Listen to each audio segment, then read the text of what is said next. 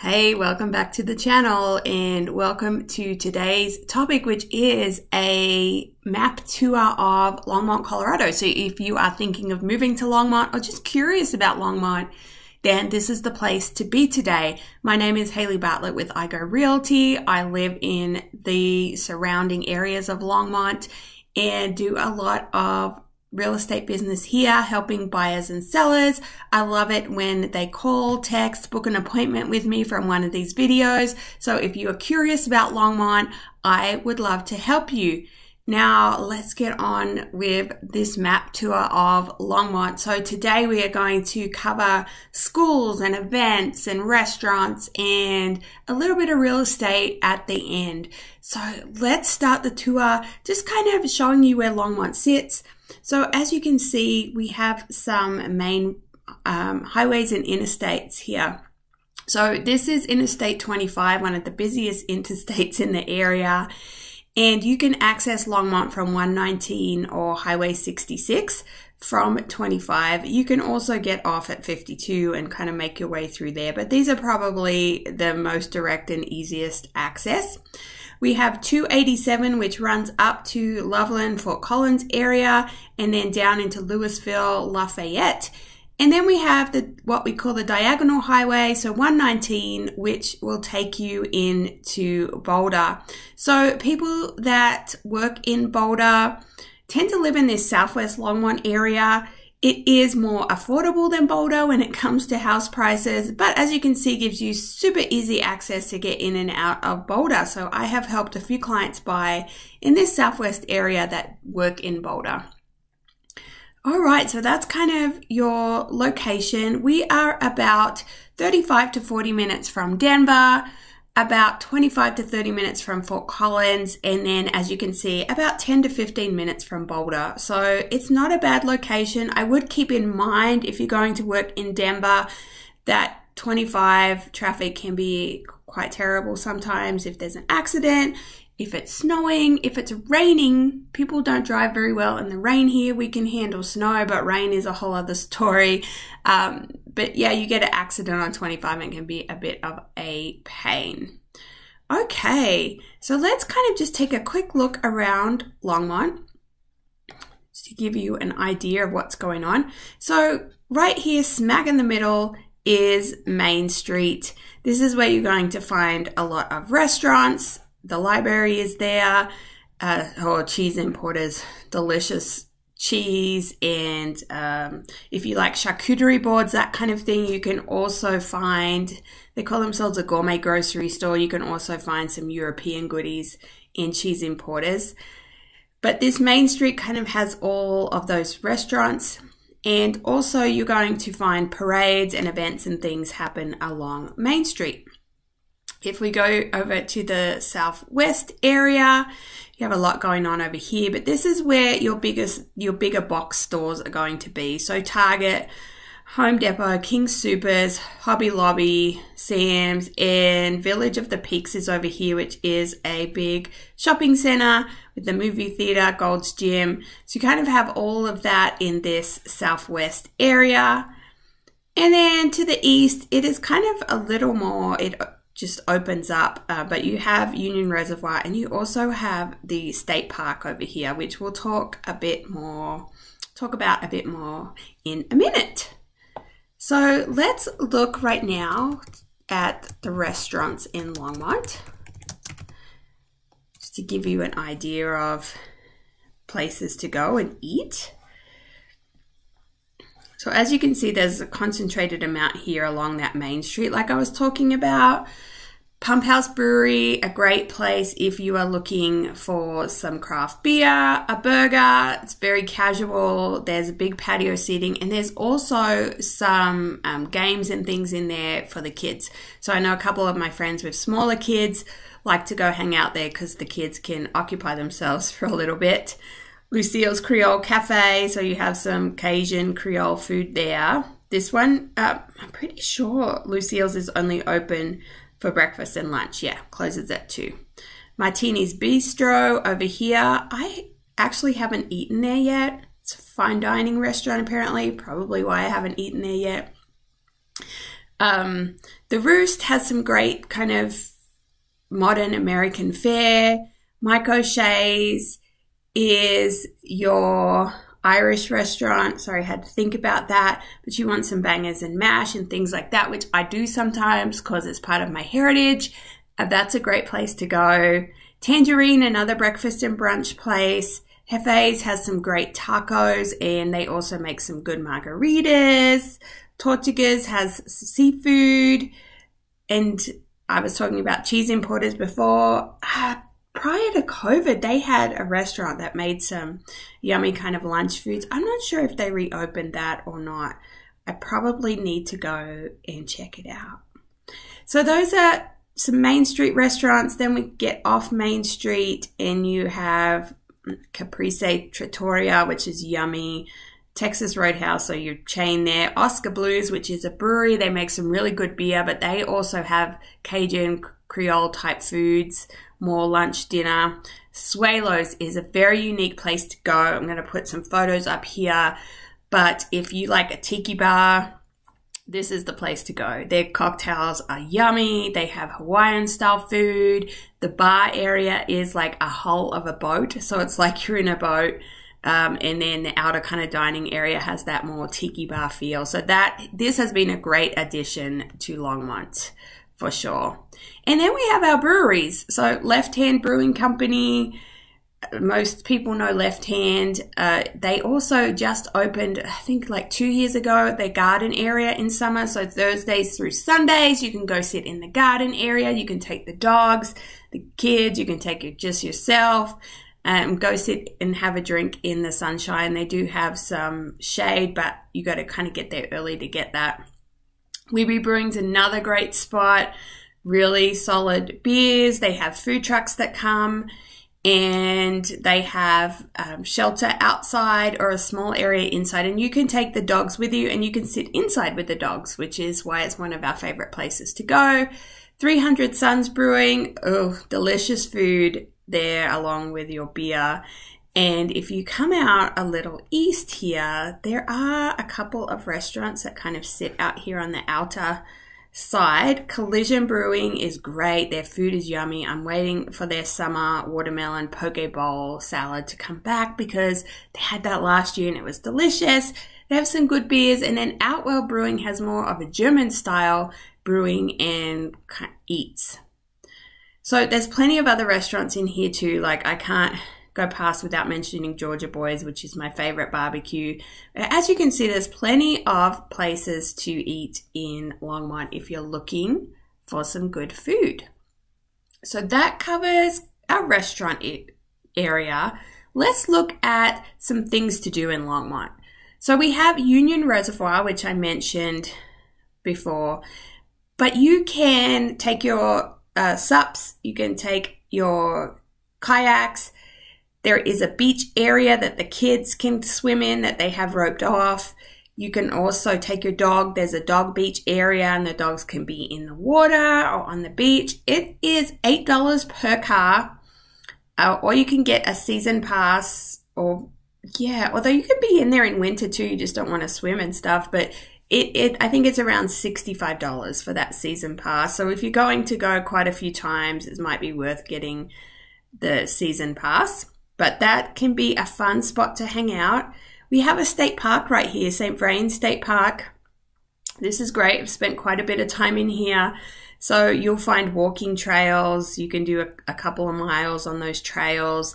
There are uh, little lakes and ponds in here, and you can, I have not yet, but you can paddleboard, I believe, in these ponds or kayak. Definitely fishing and ice fishing happens there in the winter. That's kind of fun to see. And then there's a lot of bird life in this state park. So that's a good little spot. They also have camping, but with 25 there, it can be pretty noisy uh, to camp there. Just a heads up on that one. And then out on this side, we have McIntosh Lake, which is actually a free place to stand up paddleboard and kayak, and you can't swim in it. They don't let you swim, so no swimming uh, but you can stand up paddleboard or kayak in McIntosh. And sometimes it does get busy there because it is the free one.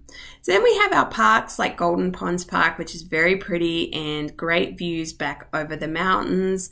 On this side, near, back near Collision, you have Sandstone Ranch, which has a huge playground, splash pad, soccer fields.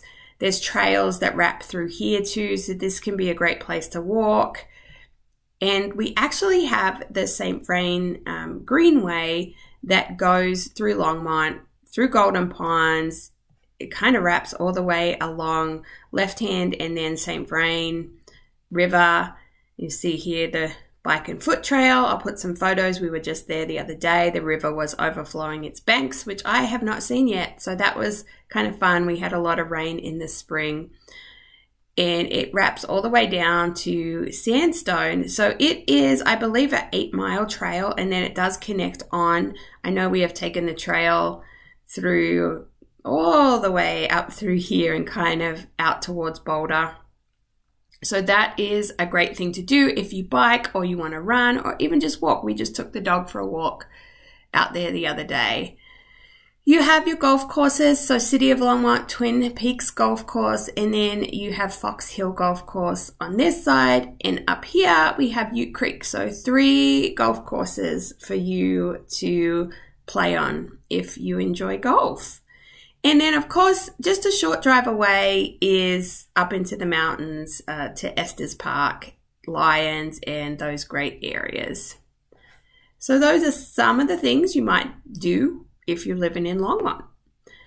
Let's hit schools up. So, I can't, as a realtor, I can't give you direct um, advice about schools. I can direct you to like this is greatschools.org. It kind of lets you know about all the schools in the Longmont area, and there are a lot. It gives you some ratings and reviews on the schools. So, this can be a great place to go to look at school ratings, to look for schools. The schools are varied and have different programs. So, I know the high schools, St. Vrain Valley School District is the school district and the high schools have some great programs where your kids can get college credits or even finish a two year, um, you know, college degree along with high school to help you save money because the school district pays for it. So that can be, they have a couple of those programs St. Vrain School District is open enroll, so you can enroll in any school as long as there is space. And I do believe you have to do it by a certain time. So you want to go to the St. Vrain Valley School District or SVVSD website and look at the schools that you might be interested in. That website will list the programs that they have as well. But we also have Christian schools, uh, for the kiddos if that's the way you want to go. A Baptist school down here. You can see all the elementary schools, public elementary schools throughout the area. We do have a charter school in Longmont as well here, Twin Peaks Classical Academy. You'll see the middle school, one of the middle schools here, Hygiene Elementary School out that way. So there is plenty to choose from, and then you can head out of Longmont too, and you have Mead High and Middle School in this area, and then Frederick more over to this area, you have Frederick High. So there's plenty of school options. You know, check out the ratings if that's something that concerns you, and check out the SVVSD website to get an idea of what the school is running. All right, let's look at events and things to do in Longmont. And here's an example of what the calendar looks like. There's always plenty going on. so we have happy hour tours, free outdoor concerts. Um, this is a silent disco, live music, movie night in the backyard, music Thursdays. So there's plenty going on. And then we have the annual events that happen. So the Halloween parade is a big one. I love it. I always go. Um, kids and dogs parade down the street with their parents, and it's just awesome seeing all the different costumes. You have marching bands from the local schools, and that one is one of my favorites. Longmont Lights is the Christmas festival, and it includes holiday lights and bonfires and ice skating. And then there is also a parade on the Friday night. So that's usually at 5 p.m. It is a light up parade and it is fun as well. I like to be at that one every year. So those are two of the bigger ones. There's also a Veterans Day parade, which they haven't listed here on Veterans Day. My son plays in the marching band for Frederick High, and he's often in that parade and they were having the Day of the Dead parade at some point. Not sure if they're still doing that, but there's that parade as well. On certain nights throughout summer, they'll open up kind of Main Street, and there's all kinds of shopping and art walks and things that go on there too. So you can see there's plenty going on in Longmont, plenty of festivals, plenty of parades, and um, things to do in Longmont. Which reminds me, I want to go back there's a couple more things to do that I didn't bring up. So let's just bring this map back up. Sorry, flipping over here.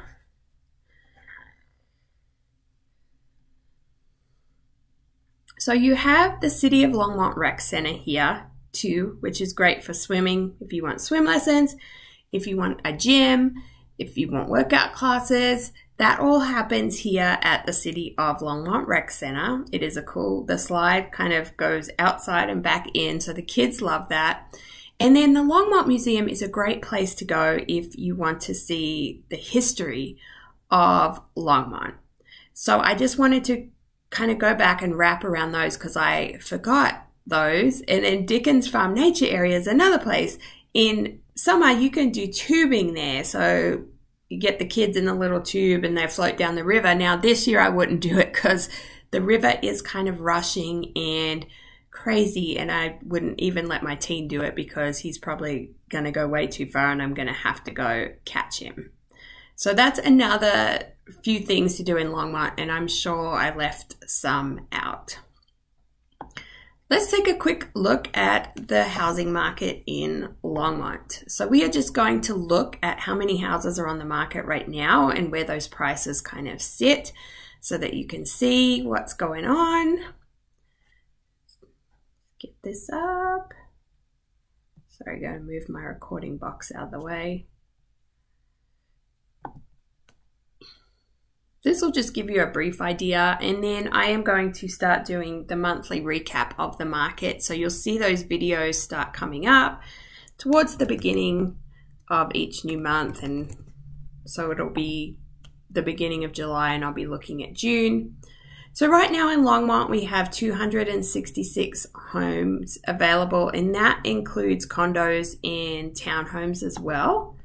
So let's go to the results. So you'll see the most expensive here is 24 million, just to give you an idea of what that looks like. Why not? Why not take a look?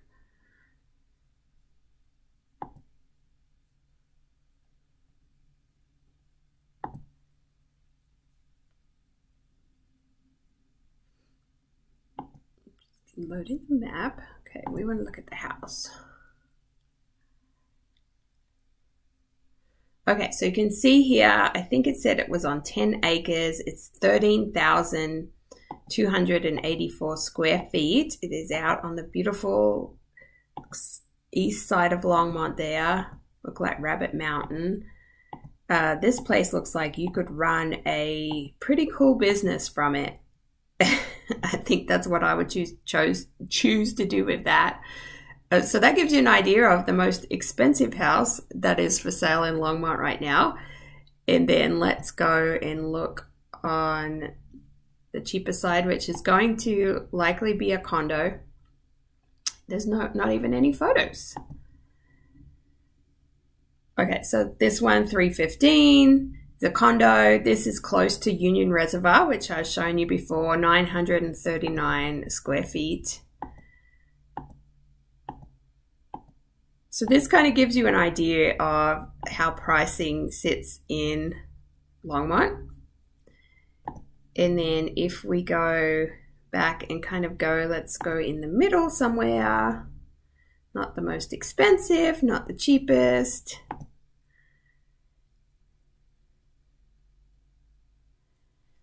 So around the average kind of home price of 559 you get something like this and this is an older house in Longmont Estates.